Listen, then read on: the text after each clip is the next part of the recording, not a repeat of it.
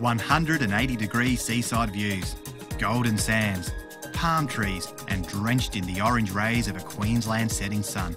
The Nova Pride has never looked so good.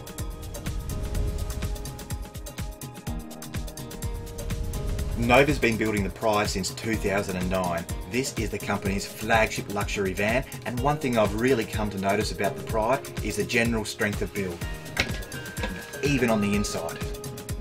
The Nova Pride is all about comfort and convenience. It boasts a Kenwood stereo DVD system with six Kenwood speakers, two flat screen TVs, a huge 225 litre Dometic fridge, Dometic front loader washing machine, Thetford bench loo, and vanity. The list goes on and on. What Nova have done is designed this nice L-shaped kitchen that gives room for the cooktop, a bit of bench space, and a good sized sink.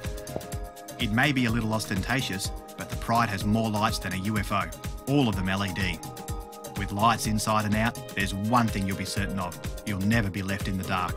One of the features of this Nova Caravan is it has an energy efficient LED lighting system, both inside and out. The outside ones are particularly bright, certainly very, very good for nighttime activities of all sorts. The bedroom features a large bed and plenty of storage. It may be a little cramped, but the space sacrificed in the bedroom allows for a much larger lounge, split bathroom and kitchen.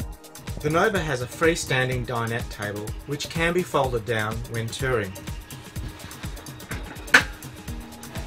But its under bed storage position is quite awkward. Outside, the Nova Pride speaks for itself. Visible are the two 9kg gas cylinders, two spare wheels, mesh rack, and a dual clamp centre mounted jockey wheel. This leaves space for a large front boot. While the Nova hasn't got quite 10% of its weight on the ball, it's still a really nice, smooth and easy caravan to tow. Like most caravans, the Nova has a front boot, but in addition, it has this excellent rear storage area. Nice and simple to use, and gives good access to the under seat area at the rear. Get your camp chairs ready to go. Whilst towing behind the Jeep Grand Cherokee, the Pride wanted to sway a bit. However, introducing a set of load levelers sorted this issue. Behind the Land Cruiser, there was no such problem. The Nova Pride has a tandem axle load sharing suspension system. It's really proven itself behind our Jeep and Land Cruiser 200. It's an entirely sufficient system for blacktop touring. It may be large, and it's certainly not cheap.